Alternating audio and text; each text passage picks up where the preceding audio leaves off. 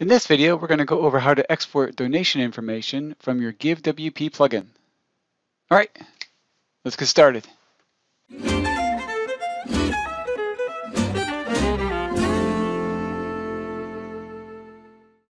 Okay, great. So the first thing you need to do is log into your websites. And here I am. This is the WordPress dashboard.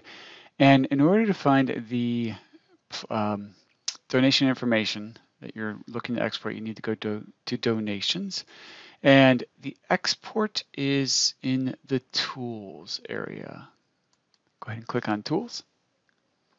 This will open up uh, the tools tabs and you'll see export is pretty much the first one here.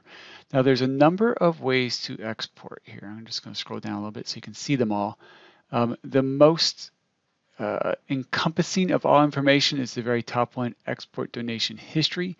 I'm just going to click on this tab here to generate a CSV file. And you'll see here that you're going to have um, tons of different options to export. So if you're pulling this into another database, QuickBooks or whatever, you can actually pick everything that you want here. So you can pick the different forms that you want to export from, um, the actual dates that you want to export to and from, and of course the statuses, if they're all complete or if they're pending or if they're refunded. So you can generate a whole number of uh, different types of reports.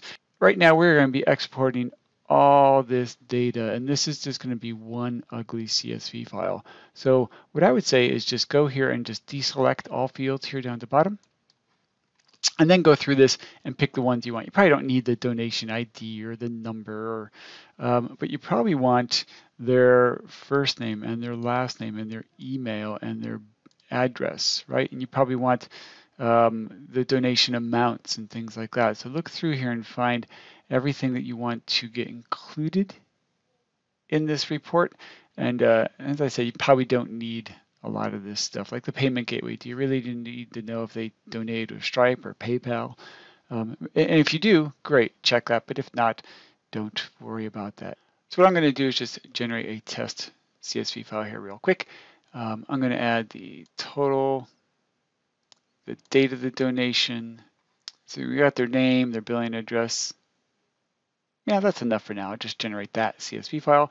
And so simply click that button and it'll generate a CSV file that will pop open and you can save that form. Let's quickly take a look at that so you can see how this data looks. Okay, so here is what it looks like in Excel. As you can see, it's just a list of the, the donors by the total they donated, the date they donated, of course, their names, emails, and all the information that they provided. Okay, let's just go back to our GiveWP plugin. Okay, back to the export page. Quickly, we'll just go over this. You can uh, do it in PDF format. And if you click this generate PDF, this is just going to export the donations and the revenue that you received through different funds. Um, it's basically a, a final number. So this is great for a quick report, but it doesn't really give you details on who donated and how much they donated. Same with this one. Uh, this exports as a CSV file, so you can export the revenue and donation stats. But again, this just kind of gives you a month-to-month uh, listing of the donations that you received, but doesn't really give you information about the donors themselves. Now, if you wanted to export a donor list, you could do that simply here by exporting the donors with this, give a start date and end date. You can pick the forms that you want to pick from. And of course, you can pick the information that you want to export as well. So that will give you, if you want to do a mailing list or something like that, you can use this as well. Exporting your GiveWP settings uh, if you had multiple GiveWP plugins on different sites, you could do that. Um, I'm not sure how useful that is for many people. And then, of course, if you have people who have subscriptions or recurring donations, then you can export anyone who has an upcoming recurring donation, and maybe you want to send them um, some information about their upcoming donation.